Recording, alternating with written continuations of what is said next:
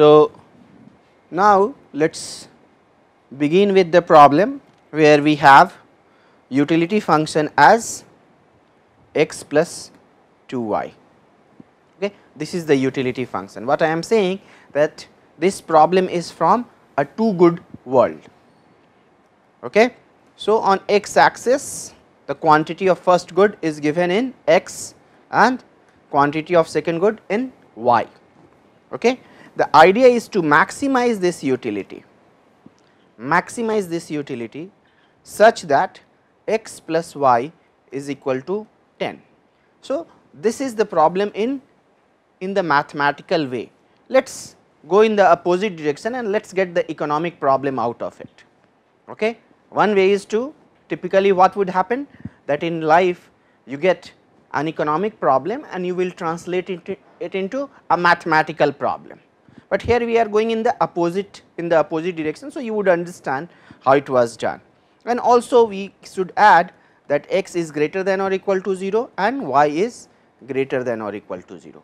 We are going to solve this problem using 2 3 techniques, but let us say what does it mean that a person lives in a two good world and good one can be let us say for example good one can be tea does not matter what you take. And good 2 is cola. Amount of tea is given in given as x and amount of cola is given as y. Okay? And this person what he cares about is his consumption in in this particular fashion that twice of cola plus tea twice of cola plus tea you can simply say that he is willing to exchange 1 unit of cola for 2 unit of tea or 2 units of tea for 1 unit of cola. So, individual interest individual valuation is same at all the point and what is this value that 1 unit of good one is equivalent to half unit of good 2 okay or you can say 2 units of good one that is of course good one is tea and it is equivalent to 1 unit of cola. What it is saying that when you go to canteen or somewhere or at you know one of your when you visit or a, what you want is either 2 cups of tea or 1 cola okay. It can be 2 cups or 3 does not matter. We are not talking in terms of cups, but I am just saying to understand that you are indifferent between 2 cups of tea and 1 glass of cola. If we measure tea in cups and cola in glass okay? That is what we have here. Fine? And this is your own exchange rate. Now let us say that what we have from the market, market we have x plus y is equal to 10. So, what we are saying basically typical our budget curve is Pxx plus Pyy is equal to i. So, in this sense 10 is nothing but income, Py is equal to 1 and Px is equal to 1. So, in market basically you can exchange 1 cup of tea for 1 glass of cola that is what you can do in the market fine. But now let us look at your your own this is the market's valuation and this is your individual valuation. Now in market if you give up 1 cup of tea you will get 1 glass of cola in lieu of that cup of tea.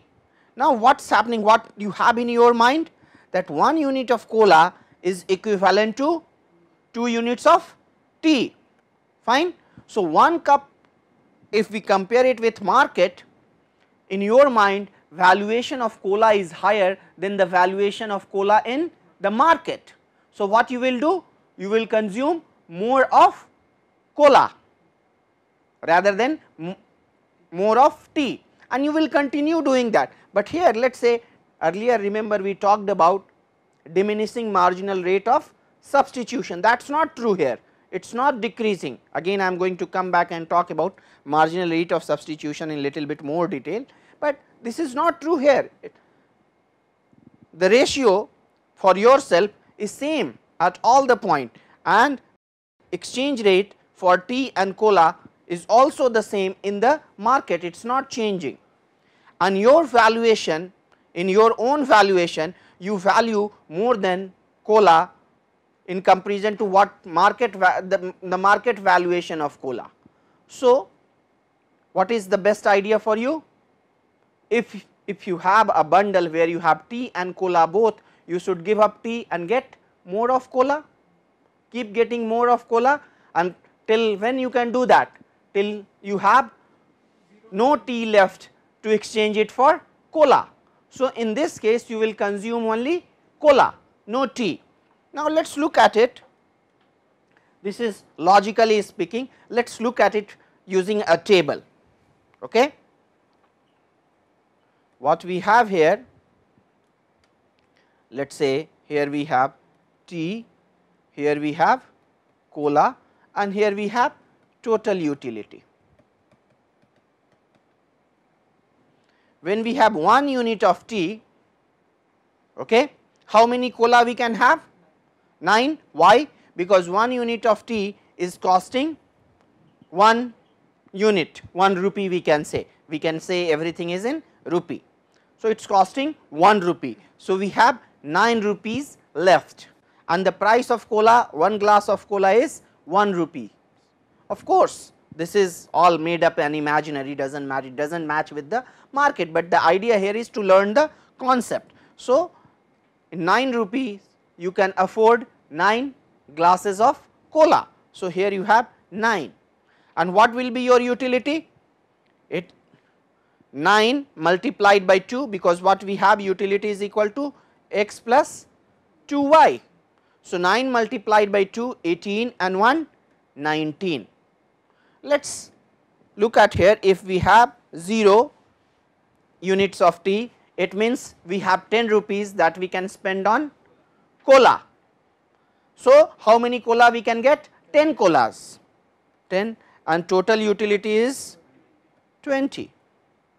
Why? Because 0 plus 2 multiplied by amount of cola and that is 20 and similarly we can do that let us say if we increase the amount of tea what would happen?